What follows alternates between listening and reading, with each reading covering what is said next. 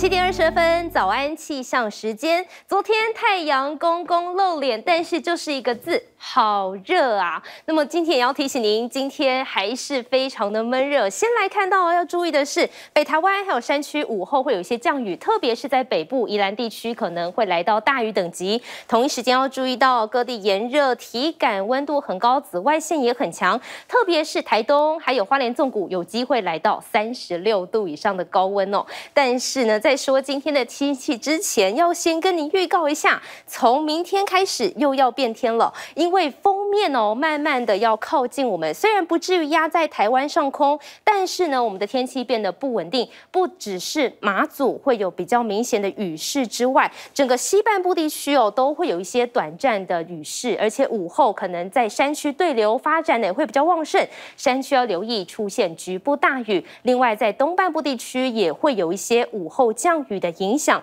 接下来哦，在这礼拜五的时候，这一道封面慢慢的又要远离，但是呢，受到偏南南风还有东南风符合的关系，南台湾地区不定时会有一些短暂的雷阵雨势，午后还是要留意午后的降雨哦。所以接下来几天呢，水汽慢慢的又要变多了。但是回到今天的天气来看呢，其实这一两天天气还蛮稳定的哦，感觉都非常热。昨天紫外线都在高亮到危险等级哦。那么特别是台州、台东的太马里更是飙到了三十八点九度，花莲的卓溪乡有三十八度，台北市、新北市也来到了三十五度的高温。今天各地普遍也都在三十度以上，体感温度哦更是来到三十五到三十八度哦。所以提醒您，今天外出的话，记得要穿一件比较薄、比较透风的衣服，并且防晒，多补充水分。不过大家会发现哦，这几天台东真的是非常非常的热，这就跟西南风沉降效应有非常大的关系。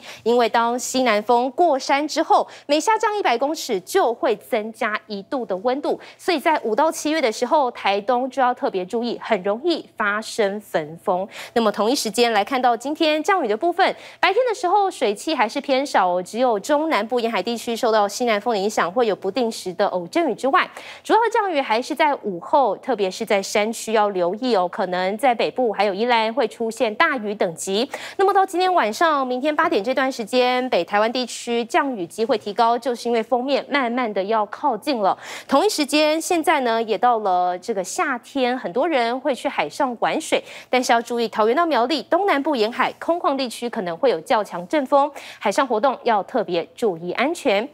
接下来看各电各地区的一个天气表现。北部地区今天要留意高温是在三十二到三十五度，午后雷阵雨。中部地区高温在三十三度，是多云到晴的天气。南部地区高温在三十一到三十四度，也是多云到晴。宜兰二十五到三十二度，花东地区在二十六到三十四度，马祖地区二十五到三二十三度，降雨机会高。那么金门还有澎湖在二十六到三十一度。这是这一节最新的气象资讯。